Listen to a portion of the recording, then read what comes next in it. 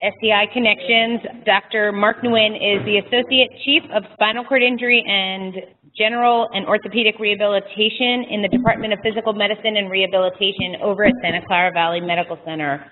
Dr. Nguyen graduated from Drexel University School of Medicine in Philadelphia, Pennsylvania, and completed his residency training in physical medicine and rehabilitation at Boston University's Medical Center. Before coming to Santa Clara Valley Medical Center, he was on the staff at Spaulding Hospital in Boston and was, was one of the faculty in the Department of Physical Medicine and Rehabilitation at the Harvard School of Medicine.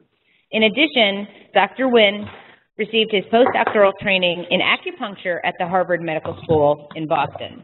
Dr. Nguyen is part of a multidisciplinary in, inpatient team approach to spinal cord and orthopedic injury rehabilitation that supports exceptional patient outcomes, including functional improvements, and is, is related to the highest possible levels of independence and quality of life. Along with his work in treating individuals with spinal cord injury, Dr. Nguyen supervises Stanford Physical Medicine and Rehabilitation um, for residents who also train over at Santa Clara Valley Medical Center. And today he's here to talk to us about pain after spinal cord injury. Dr. Nguyen? Hi. Um, how you doing? So, so if you don't mind, I'm just going to sit here and go through the slides. And I hope it's very informal. Um, if you have questions, please ask. Um, I did have a a video for you guys, but I'm not sure we can get it. But um, it was hopefully to um, show how pain pathways work. So um, uh, thank you for inviting me. Um, I definitely think pain is um, very um, important. It's probably the most common complaint you're going to get in any doctor's office. And I'll go into the prevalence in spinal cord injury based on on studies and everything. And I, I know I recognize a bunch of faces. Um, I know you guys are patients there and everything, and um, it's good to see you all. so here are my goals. Hopefully I'll be able to convey a basic understanding of pain physiology, um, and then how it relates to spinal cord injury, and then review some treatment options. Um, I think the first two are more important than the last because treatment options um, vary, and there's nothing to support that it even works. uh, so I can't give you any studies on it, but um, so let's get to it. So my background is that I um, I started off in pain management. Um, my background is physical medicine rehabilitation, but after I graduated, I actually went into pain management and um, I was able to treat a lot of patients who had chronic pain. And spinal cord injury can, of course, lead to spinal, um, chronic pain because I still see patients um, in the outpatient and they still have pain like 10, 15, 20 years. Um, so it's it's very um, um, yeah, it's very important subject in spinal cord injury.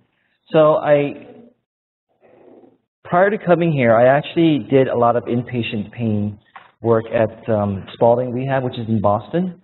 And we had probably one of the few inpatient um, pain programs was multidisciplinary. Now this is a diff different population, but you know, from that experience, I was able to um, understand more about how pain affects the person because I'm going to give you a definition of pain, and it's very um, um, person-oriented, how a person perceives pain differently.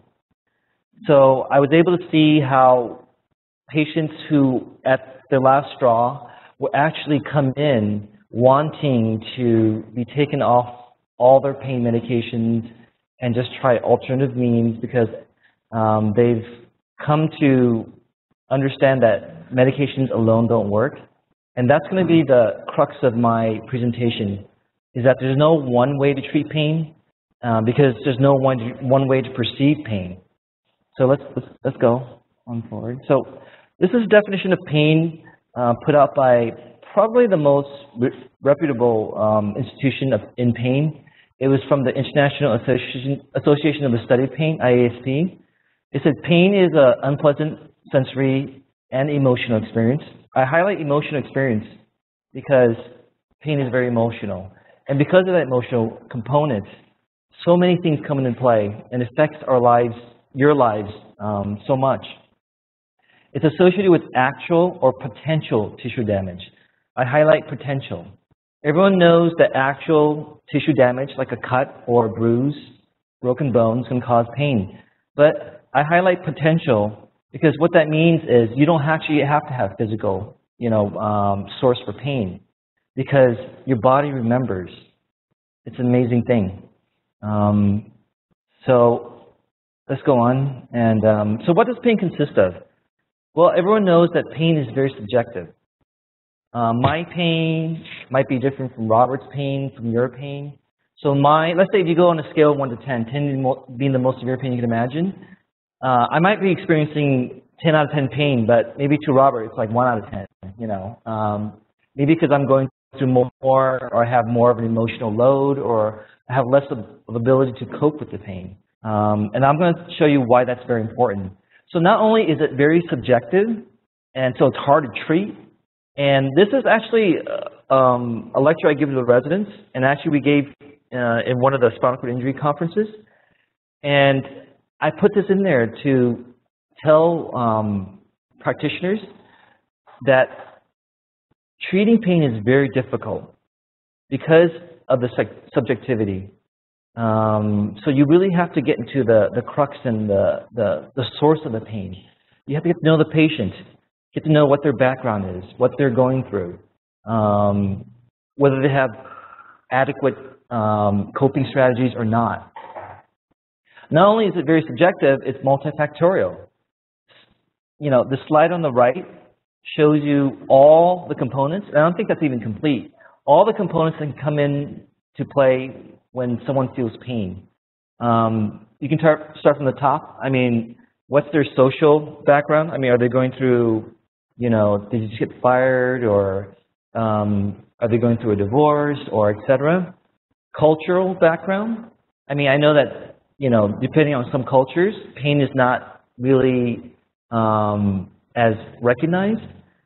Um, genetics, of course, it's, you know, maybe some people are more wired than others to deal with pain versus not.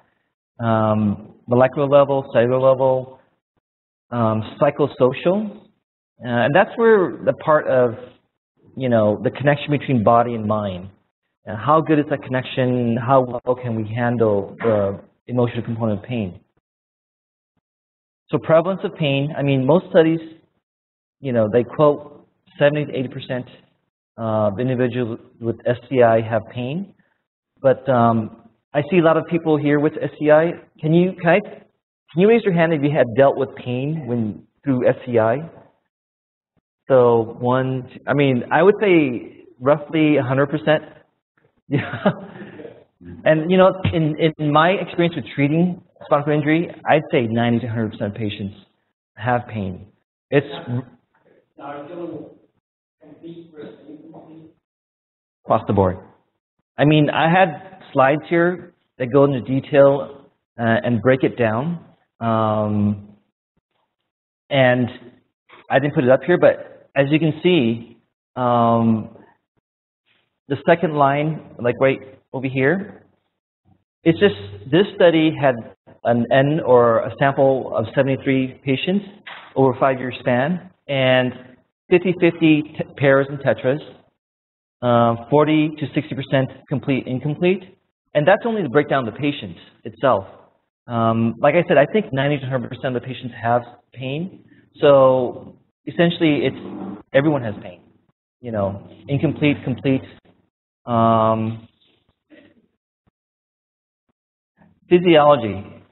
I was going to give you, show you a little uh, video that um, tracks pain all the way from the periphery into the brain. Um, but I will describe it to you. so pain travels through nerves, of course. Now pain, um, let's say you get a cut. So there are nociceptors. These are pain sensory, sensory receptors. that give a chemical response when they are altered or they are damaged. Now that chemical response leads to an impulse, an electrical impulse that travel from the periphery into your spinal cord. That's called your primary afferent. A as an apple, afferent. So as it travels from the periphery into your spinal cord, there are two connections before it goes into the brain. It connects to what we call an interneuron, which is a smaller neuron, and it's that, that interneuron where a lot of changes are made. A lot of what we call synapses or connections are made, not only from the periphery, but you get a feedback into the interneuron, and also from the brain, there's a, a descending pathway. And that descending pathway also connects into the interneuron.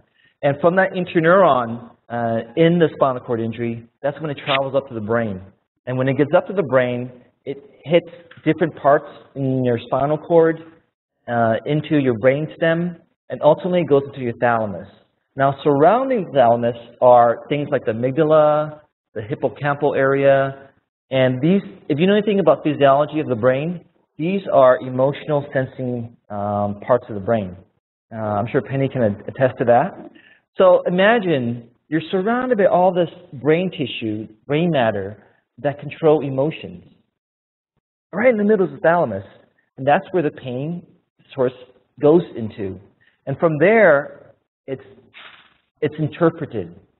And from that interpretation, you get signals into your frontal region, which is a, you know, interpretation, um, how you interpret the pain itself.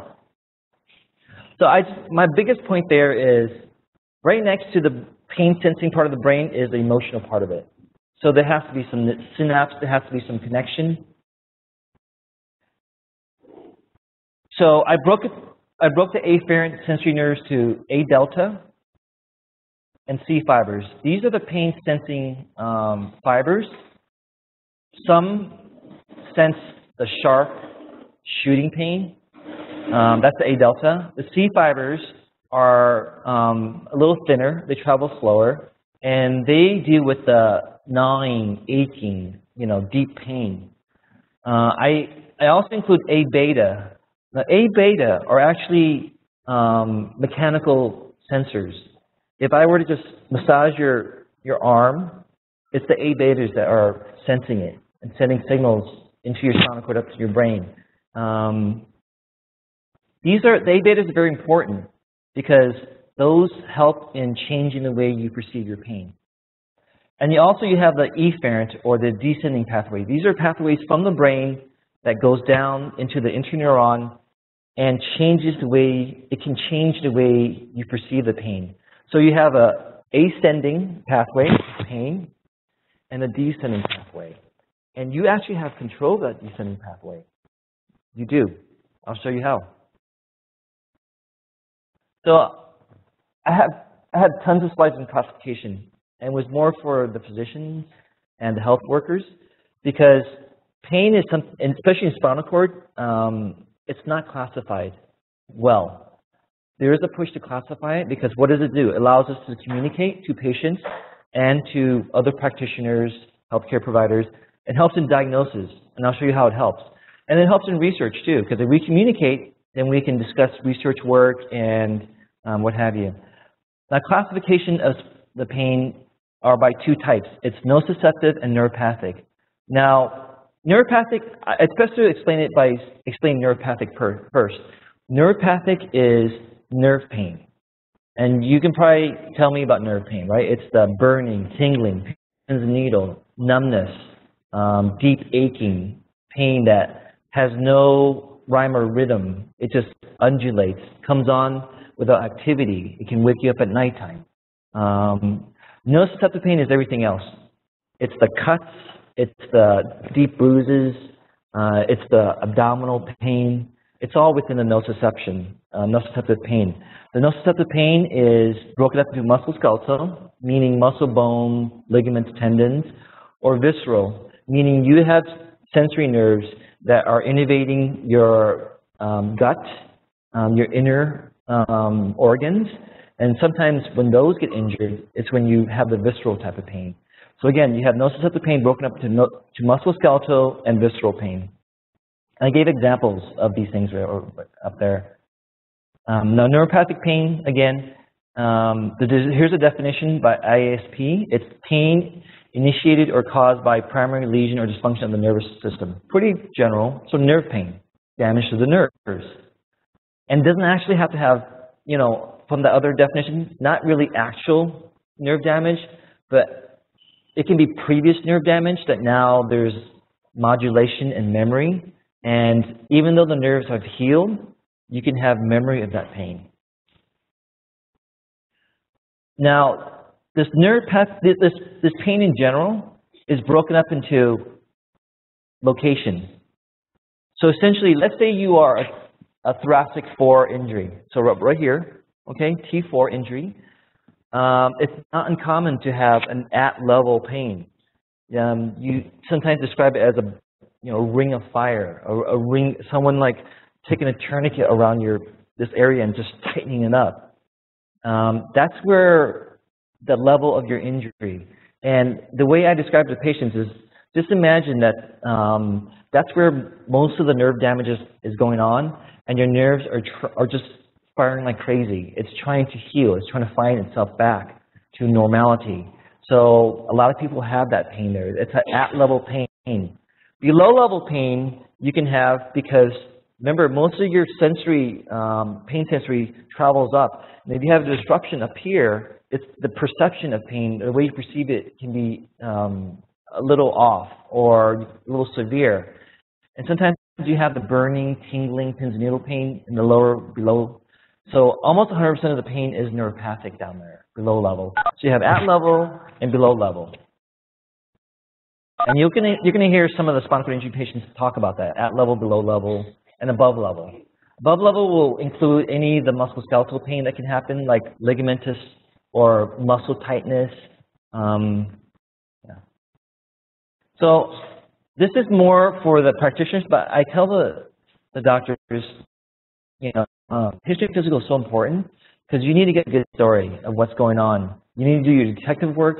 Um, pain sometimes, I, I can tell you that through medical school, you know, pain is is not really taught that well because, you know, no one wants to deal with it and it's seen as, oh, have pain, just give them some pain medication, hopefully it goes away. Um, so I tell the, the, the residents or the, the, the people I'm talking to, the healthcare providers, to really do your, your, um, your investigation. Because if you do your investigation, there's usually a story behind that that can tell you what's going on. And that will help um, you um, gear your, your treatment instead of just, you know, um, blasting them with pain medication or, or medications in general. Um, it's equally important to do an accurate ASIA exam because you'll know where that level of pain is. Um, and it's good to get a diary of the pain. And I'll show you what a pain diary looks like. So evaluation of pain, you know, I tell the residents that this can be very, very difficult because not only is it subjective, um, but you can have a lot of things, you know, coming into play. We, we talked about all those things, emotional, psychosocial, um, you know, genetics, background. You know, these are different ways that pain is, is evaluated. Um, 1 to 10 visual analog scale, or the Wong-Baker faces that I have up there. You know, I tell patients, you know, your pain scale is your pain scale. And it's in no mean to lessen your pain or make it more. It tells us where your pain's at and where we need to go. Um, so I tell them, you know, just tell me on the scale of how you feel. Because they, you know, I know some patients feel like, you know, if I don't tell them high enough, I'm not going to get treatment. You know, but the thing is, if you tell high enough and we treat you too much, you're going to be zonked out. So be very honest with your pain. Um, and I find that patients who are really um, who really want to deal with their pain and not have secondary gain, like they want to get high or they want to whatever. I tell patients, you know, just be very accurate with your pain, very honest with your pain. Um, and if you're dealing with a practitioner who really is is committed to helping you with your pain, they, they, they appreciate that. One thing that I'll do is I'll make sure that I'll print out the slides. So I know it's probably hard to see, so I'll make sure that I'll email them to you. Yeah. No. Yeah. And maybe you can get um, the the YouTube videos. It's very pretty neat. It'll be on the slide. Yeah. The, the address. Yeah. You know, the, the thing that we use a lot, because pain is so subjective, is function. You know, we see how you're doing functionally, because that's the telltale sign of how you're handling your pain. Someone can actually have more potential pain, but if they have better coping strategies, they can function better. Whereas those that have less pain and less ability to cope with it, it's going to show in their function. They, they can't transfer, they can't do the exercises. So we, we kind of go upon that. This is a pain diary, and this is a uh, diagram method. So essentially, you have, um, see my pointer up here? No, you don't. So you, you have time on the x uh, axis and, and pain intensity on the y-axis. This helps me to know where your pain's at and how to um, accurately treat your pain without over-treating you. And I'll show you how. Yeah. Yeah, that's, so this patient has 8 p.m., oh, 8 a.m., I'm sorry, it's wrong. 8 a.m. PT, 8, uh, 3 p.m. OT scheduled. And that's when their pain gets really high. Not unusual, right? I mean, you guys see that a lot. So treatment, um, I, I broke it into two categories, non-pharmacological and pharmacological. Now, non-pharmacological, I mean, this is the part of treatment that most practitioners don't know about. But I tell the residents or those I, I'm talking about um, and patients is, you know what? The best pain doctors are the ones uh, that have a lot of tools. Because if they can knock off 5% here, 10% here, um, in the long run, that's going to be better for you than someone who's going to give you, who's going to try to knock off 100% with opiates or pain medication. So I put this first because I feel that these, this is even more important for long-term use or long-term treatment. Education I put up at top because, you know, I tell the um, residents, you know what? A lot of times patients have more pain because they don't, they're afraid of the unknown. They don't know what's going on. They're just feeling the pain. If you take time to do your investigation, um, to educate the patient, you know, Mr. X, this, this is exactly what's going on. This is why you're having pain. Here's my plan for you. And don't leave them hanging. You know, first two weeks, here's my plan. After two weeks, if things don't work, we're going to uh, reevaluate. If things are working, you know, we can talk about backing off on your pain medication because there's problems if you stay on it too long. So if they just take time out to educate the patients, um, to go over their treatment plan and have a plan long term, not just short term, I think that leaves a lot of fears. I mean, you guys can tell me. I mean, I, I feel patients once we're, you know, we're explaining what's going on, it, it, it, it, eases their mind. They know what's going on. They know that, hey, my doctor you know, has a plan for me. And it's not going to leave me hanging here. So um, I always think that's the best way. Exercise, of course, is very important. Modalities, um, ice, heat, you know, psychological. Um, I can't penny up here and, and talk to you guys about that, but procedures, you know, there's different procedures, but again, it's only a tool. In and of itself, injections are not the way to treat with pain, not to treat pain. Acupuncture, there's no studies about that. It's hard to do a sham acupuncture study, but you know, I think overall, you know, it, it can help. You know, um, maybe, you know, because acupuncture, the whole theory is moving chi. That's you know, the Asian, I think it, what it means is moving humor or blood. Because a lot of pain happens because there's not enough blood flow to that area. So if you, because all acupuncture is, is, you know, what we're taught is opening up gates of chi. So, you know, I think the same way is if you somehow get blood flow to the area through stretching, exercises, heat, massage, uh, it's the same thing. But, you know, I, I have patients who um, do feel like acupuncture helps? Penny. I did my dissertation in the hospital using acupressure. Yeah. So that's like massage, and any area of bodily injury is more effective than pain, and it works great. Yeah. So, oh, well, well, she actually made a, a statement. So her statement was that, um, Penny's statement was she did a dissertation on acupressure and how acupressure is similar to acupuncture because you try to hit certain um, nodes um, and meridians. And she was able to get some success in relieving some musculoskeletal pain, right? Yeah, that was the. Sorry about that, guys. Education. You know, I, I went to that already. Treatment options, telling them why they have pain. Exercise. I mean, we all know that inactivity can lead to pain. I don't have a spinal cord injury, but I, I'll tell you, if I'm inactive, I'll have pain. Back pain, leg pain, everything.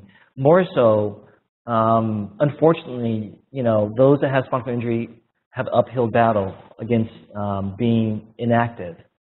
Because if you're inactive, you know what's going to happen. Worsening spasticity, contractures, you know, muscle weakness, uh, tendon weakness, uh, you know, uh, osteoporosis, more prone to bone fractures. So I tell patients, you know, it's so important to stay as active as you can. Um, and plus, inactivity, you know, affects the mind. You know, an inactive mind uh, leads to anxiety and depression. And those are two main weapons um, that you can use against your pain if you keep yourself um, as least from being depressed as possible and least anxious. Um, that's the descending pathway. That's the modulation uh, I'm going to go through. Modalities, you know, massage, you know, compression. Now, you know, I'm so big on compression. You know, when I when I first came here from my pain background, you know, I saw someone with with um with neuropathic pain, especially in extremities, first thing I do is I slap on a compression garment. And I don't know if, if you guys experienced some of that or not, but you know what? What that does is, um, you know how when you bang yourself and you, you rub your your your owie and it helps, you know, because there are other nerves that travel into that interneuron area, and what it does is it shuts down the, the pain. It shuts that transmission of the pain nerves, um, prevents it from even going into your brain.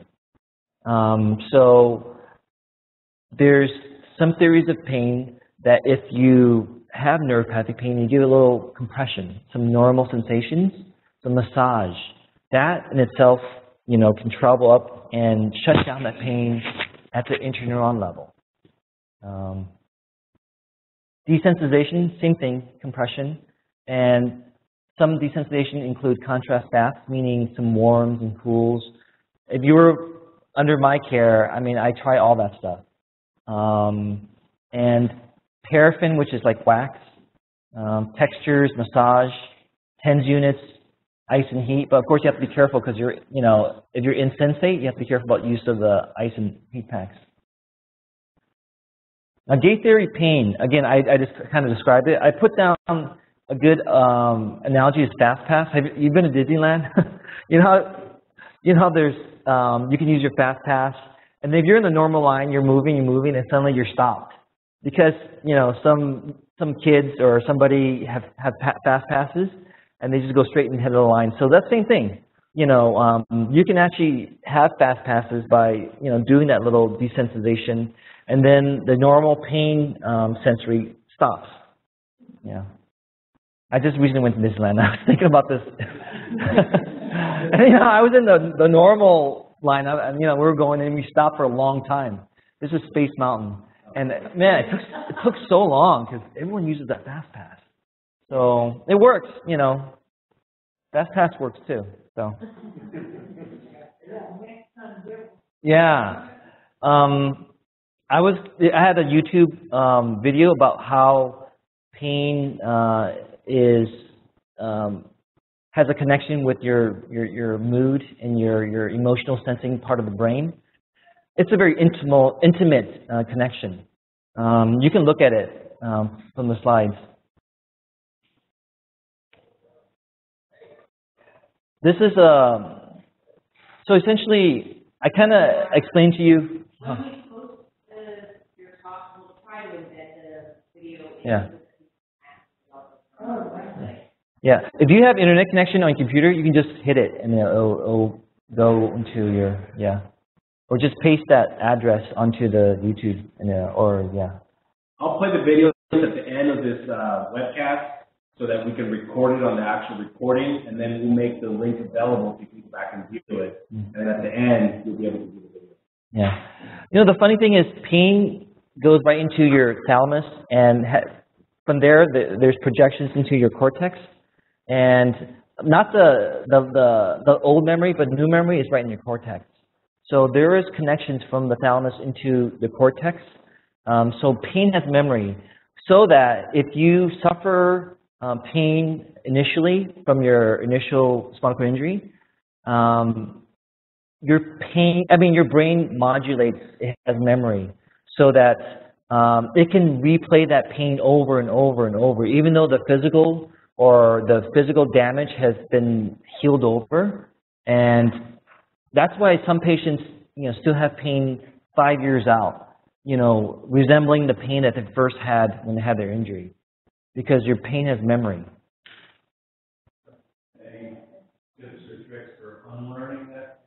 Yeah.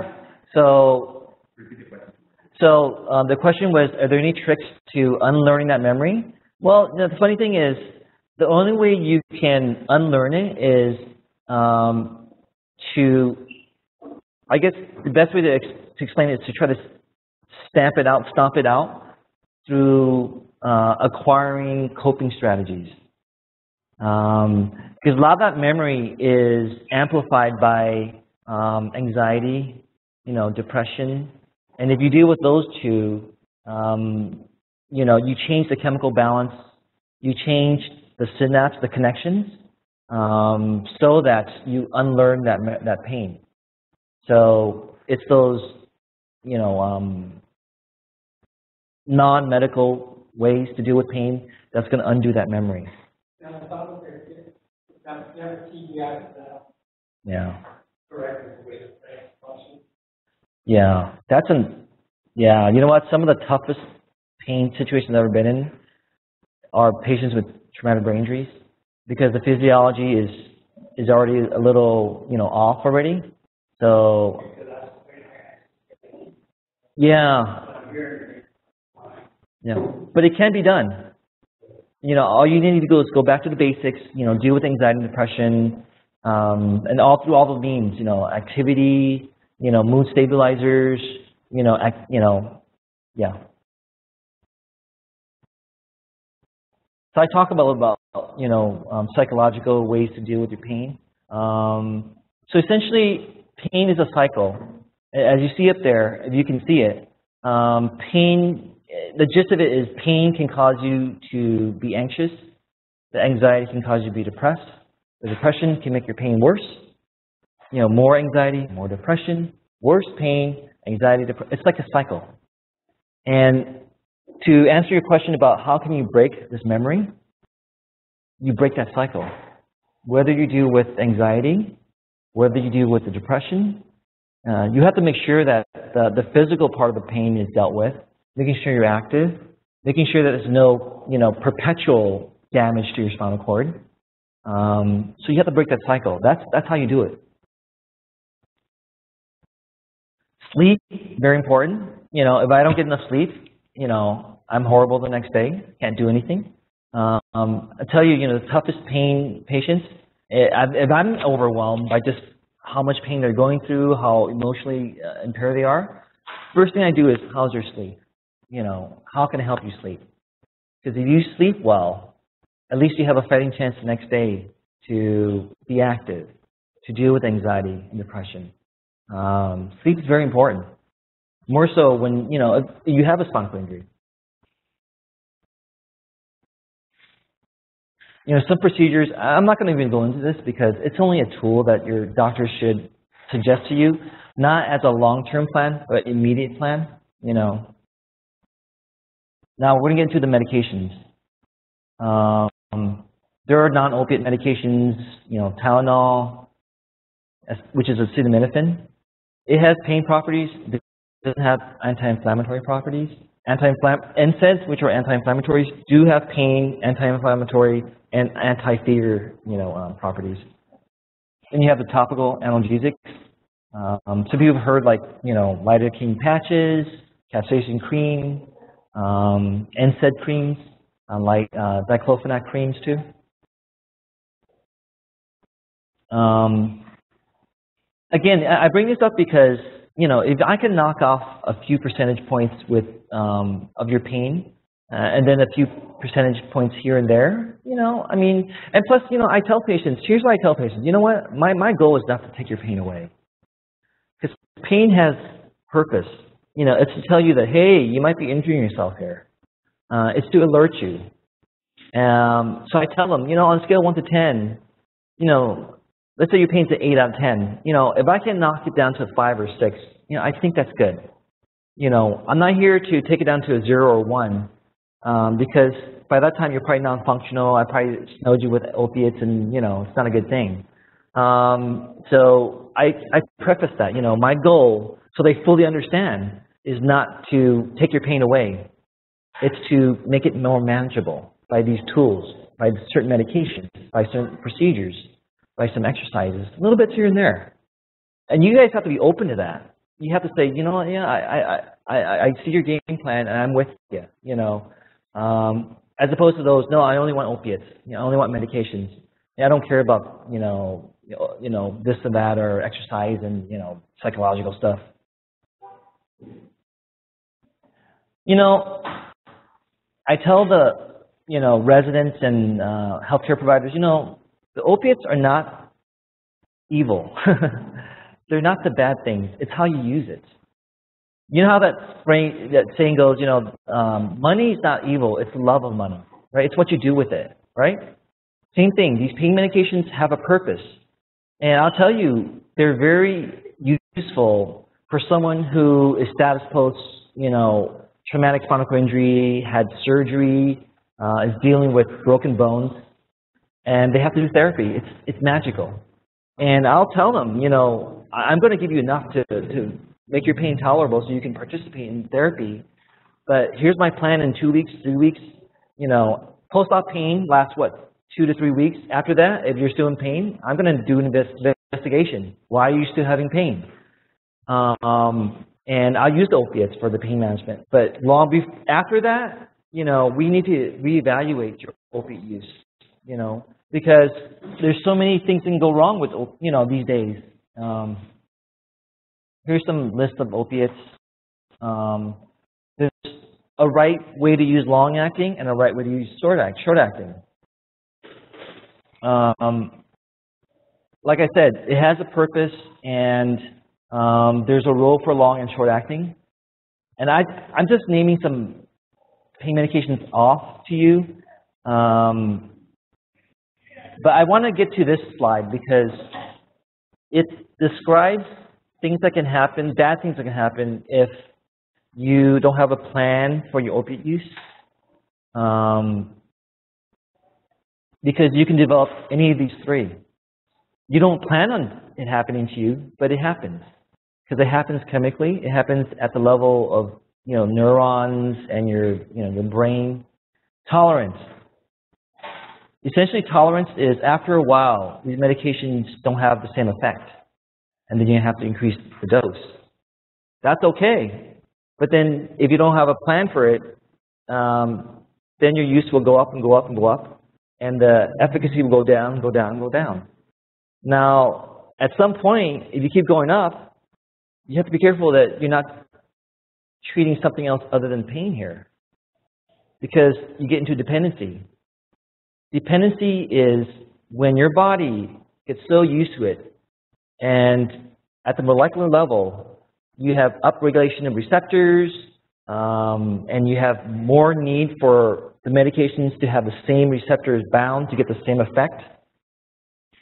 Essentially, your body gets so used to it that your body doesn't function well. Your mind doesn't function well. Emotionally, you don't function well unless you get those opiates. That's dependency. And again, it's chemical dependency. Uh, there's a physical portion, there's chemical beyond your control. No one ever, you know, you know, um, plans. Oh yeah, I plan to be dependent on this. It just happens. So sometimes it's beyond your control. Uh, addiction. You know, the right way of that addiction is defined is it's a behavior. So after you have tolerance, after you develop physical and chemical dependency, addiction is putting yourself in harm's way to obtain these medications. You know, stealing prescriptions, you know, break, you know, breaking into pharmacies, um, buying off the streets. So essentially, it's a behavior where you put yourself in harm's way to obtain these medications because they, it's supporting a chemical dependency or physical dependency. Or you just want to get high. I don't know. So no one, you have to be careful about opiate use. And if you feel like you're somewhere here, you talk to your doctor. Say, you know what, I, think I'm tolerant to it. I think I'm have some kind of dependence on it. Can you, you know, help me here, you know, before I get, I get to addiction? Um, I'm kind of jaded because the, the pain population I dealt with in Boston, they were all addicted already. I mean, some of the stories I, I, I can tell you, it's just amazing. Um, and once you're addicted, you know, you do crazy things. Um, question? Well, first of it, first off, it's it's education. Uh, I'll tell you, you know, those some patients that came into our inpatient pain program, I mean, they actually paid, you know, because insurance didn't cover it, so they paid money out of pocket because they were at, at the last straw. They realized that they're going down a black pit that they couldn't get out of, and the medications weren't the answer. So they would actually come in and we detox them. We teach them other means to deal with their pain. We educate them, educate them in terms of what's going on. And of course, we would do um, uh, investigation in terms of, you know, are they having uh, actual physical damage that's causing pain? Once we rule that out, then it's pretty much this memory that's going on, this tolerance, this physical chemical dependency. Um, so, yeah. A lot of people will claim they are in pain, but they're just looking for their next. Yeah. I mean, unless you have a progressively deteriorating um, um, situation that causes pain, you really have to evaluate, you know, why you're taking those opiates. You know, because there's there's rare cases where you you know do have continued de- degradation or injury to your, your body, like cancer or you know certain you know pancreatitis or you know certain things like that. But it's those you know it's rarely do you need constant opiates. Yeah, and actually in the pain population, um, they shun away from long-term opiates. Uh, and actually, chronic pain um, should not be treated with opiates. That's the the everyone agrees about that.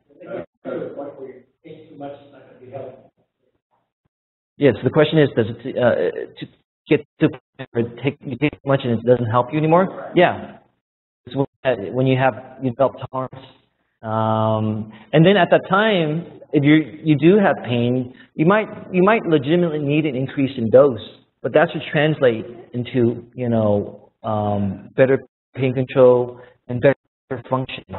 But then you know only after a while should you have potent, uh, a situation where you're constantly damaging yourself and causing more pain. After that, you should evaluate and see if you're having any potential tissue damage or are you really just treating, you know, pain memory? Yeah, yeah. So remember that that that um, that pain diary I told you.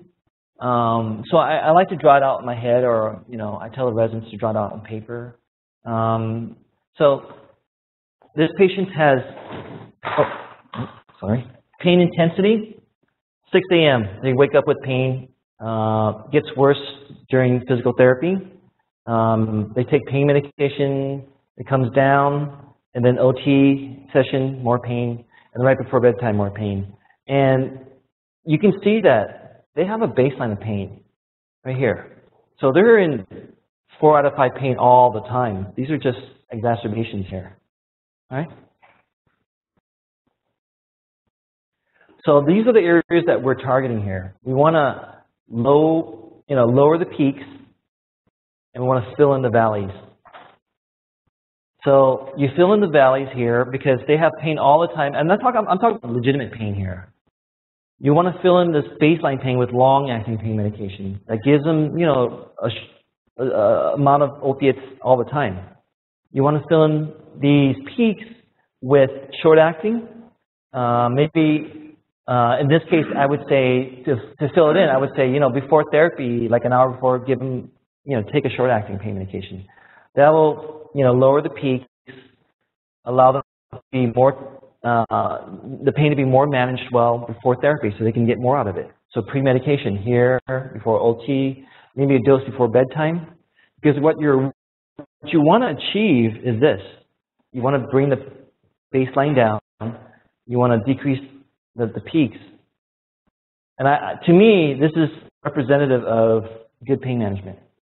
So there's, you know, there is uh, a pattern, there is actual um, way to use opiates most effectively.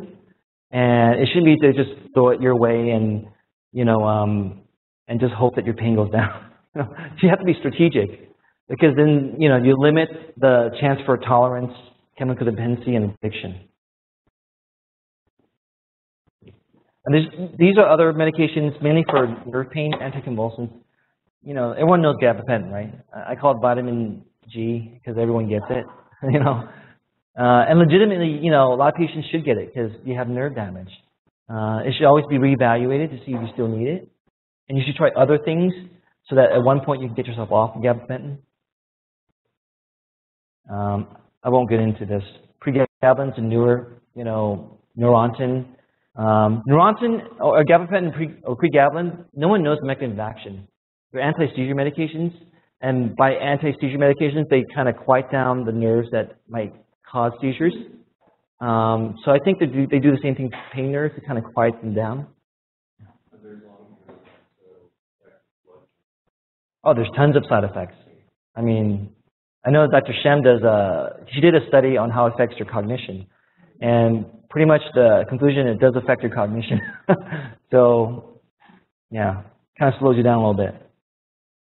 Antidepressants, they're also a way to deal with pain because like I told you, you know, pain and um, emotions hand in hand here. So if you deal with the emotions, that'll help you deal with the pain. So don't be surprised if sometimes your doctor says, why don't we try an antidepressant? Why? I'm not depressed. You know, I'm not, a, I'm not nuts. You know, I just have pain. You know, but I'm telling you, your interpretation, your interpretation of pain um, can be a little off, especially if your mood's off.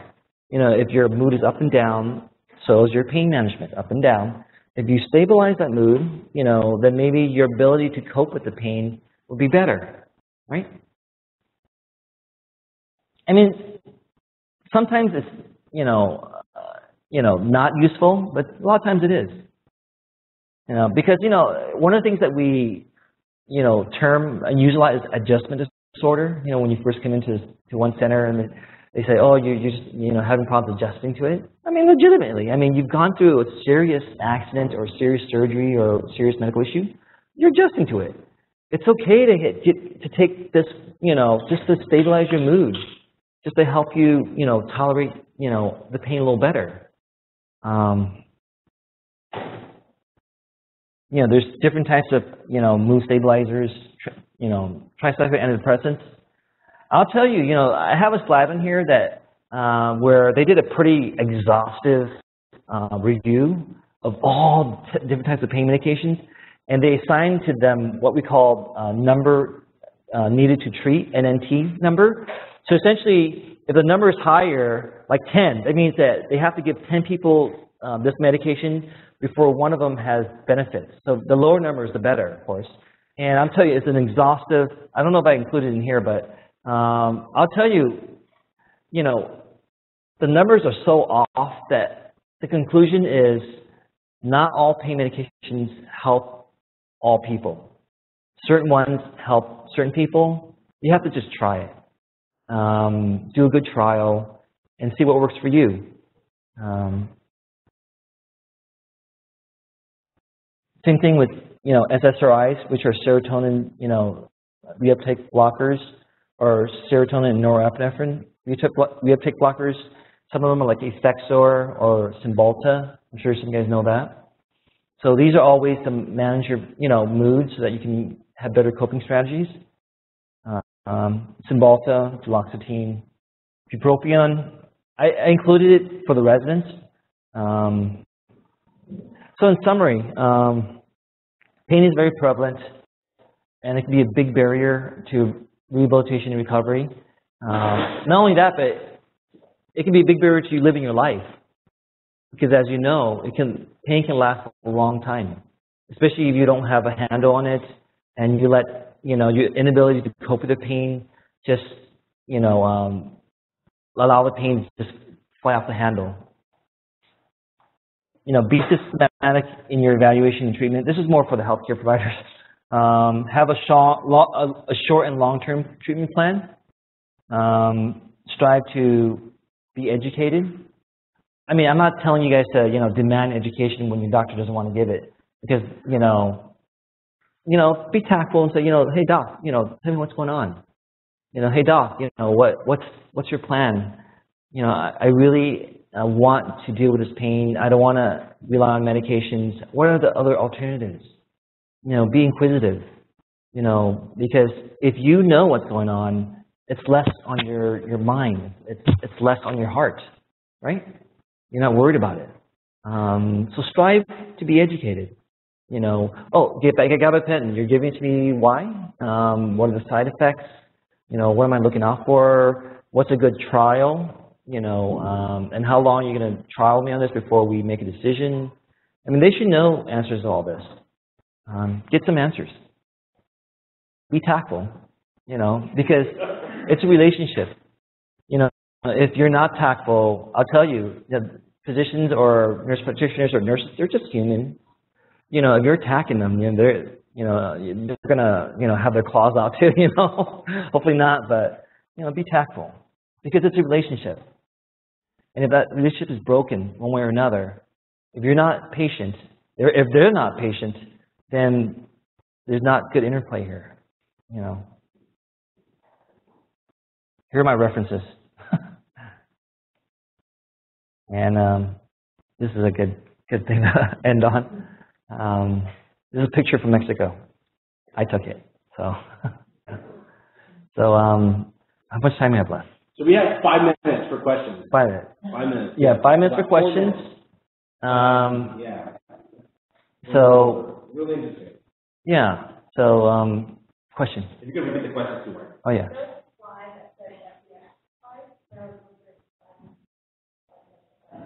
Sure. Yeah. And so the question is, uh, what the, how does FES help with pain?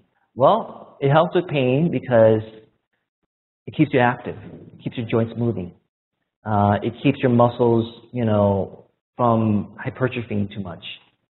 Um, because I'll tell you, one of the biggest um, um, generators of pain is inactivity.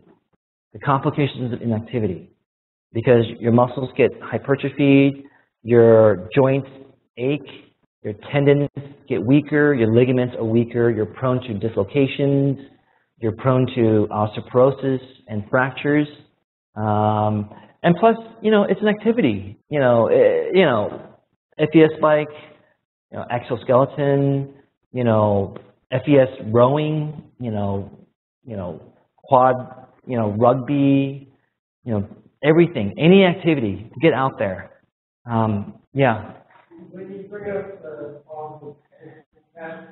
why is it that we take care, there's something to provide the FES, uh, uh, exercise for, Yeah. why is it not available to us? And also, the other aspect, Yeah. So the question is, why is FES, um, you know, exercises or bike not available to certain um, uh, insurances? They're they're they're offered some, but not all of them, um, because they're uneducated. Insurance companies they don't know what works. Um, I, I'm sorry, I can't answer that.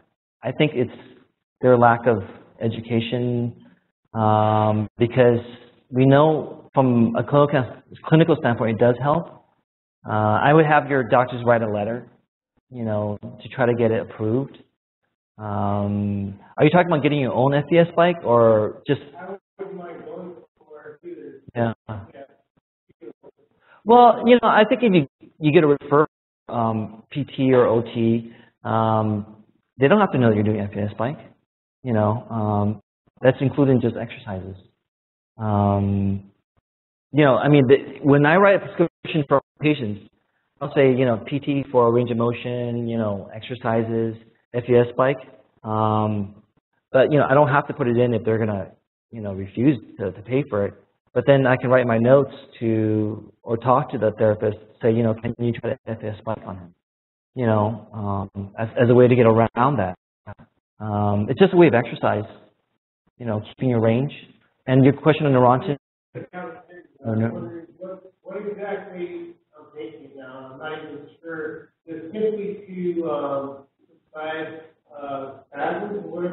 taking? Well, you know what? Like I said, the mechanism of action of gabapentin is not fully understood. We know that um, what it does, how it helps seizures is it quiets through the sodium channels. It slows down the sodium channels so you don't get the nerve transmission as, as fast as it usually goes. So since these seizures are just firing of these nerves, you know, automatically uh, in the brain that causes seizures. So at that nerve level, same thing for pain. It's, I think, it's these nerves are firing, uh, unabated, uncontrolled, that's causing this, you know, nerve pain, this burning, tingling, pins and needle. So what Neurontin does, as it does for, for seizures, it quiets down those nerves. It slows down the transmission. I think that's how it is. No one knows. I mean, there's no study that can connect it. But if you put, you know, indirectly, you can try to connect. That's I think that's how you connect it. Yeah. Question. I was just gonna make a comment on SDS. That's what I use right afterwards with the SDS bike. Mhm. The, um. And then at the end of those sessions, the insurance company did pay for me to take a, I have a small home unit Yeah. Oh, So it's not the same as the bike, but I can exercise the same muscle group. yeah. because the insurance would approve the whole, small home. unit. There you go. Yeah. Yeah. What kind of insurance do you have? I got to do lots. Who's out there? Yeah. But I do know, I do know Medicare will pick it. I don't know about Medi-Cal, but I know Medicare will pick it. Uh, don't be too fast to write off acupuncture. I, I found it didn't work, and then I found a different acupuncturist, and it Yeah. Yeah. I, so the, the, the, the comment was don't be too fast to write off acupuncture. And I totally agree with you. I took six months of it to do it. I don't do it anymore, but you know, yeah. So we have like two more questions and then we'll, we'll wrap up. I can't feel, uh, everyone feel warm, I can't tell if it's hot and cold Yeah. below my neck. hmm Otherwise, Getting in the shower, the sheet first, the water is warm cold. Yeah. Uh, Either hot or cold in the extreme, sort of show up as pain. Yeah. Same way as, uh, same way as when you're getting, uh, top eight, you. Yeah. Uh, it just sort of feels like a burning. Yeah. So again, without context, I don't know whether it's cold or hot. hmm I was sort of interested in hearing about the pathways hmm and why that Yeah. be. Well, the, the, the pain, the temperature is, travels through the C fibers and that travels up your spinal cord. So if you have a spinal cord injury, that's going to be uh, impaired. Um, so, you know, those, you know, below your level, you might have an ability to sense, you know, temperatures. Now, sometimes, um, I have some people who, some patients who do regain it, but I don't know how, how far off are you from your injury? I've seen one, I mean, how, how many years have, but then it's yeah, I think by that time, if you haven't had return yet, uh, you're probably not going to get it. Um, was that back to your first slide, the A, five? yeah, so the C fibers, um, um, they, they transport the, the uh, hot and cold pain, the temperature types of pain, the extremes. Yeah, so that is damaged in, because that goes up the spinal thalamic, um, spinal thalamic, yeah. The, the, the other fibers of the pain, that's what I feel. Well, th- there's the A delta. Well, there, there might be damage to both, depending on if it's a spinal, what's that, what area of your spinal cord is injury, injured. The spinal thalamic is pretty much right in the middle. So, uh, you know, that's usually a little bit on the side, but the spinal thalamic is a little bit on the side, um, but in the, the middle part of it. So usually that is impaired unless somehow you, it's spared. But most, most spinal injury patients do have problems with, you know, sensing, heat, you know, cold and hot temperature pain. Yeah. Yeah. All right. Yeah. Thank you for listening. Sure. Sure.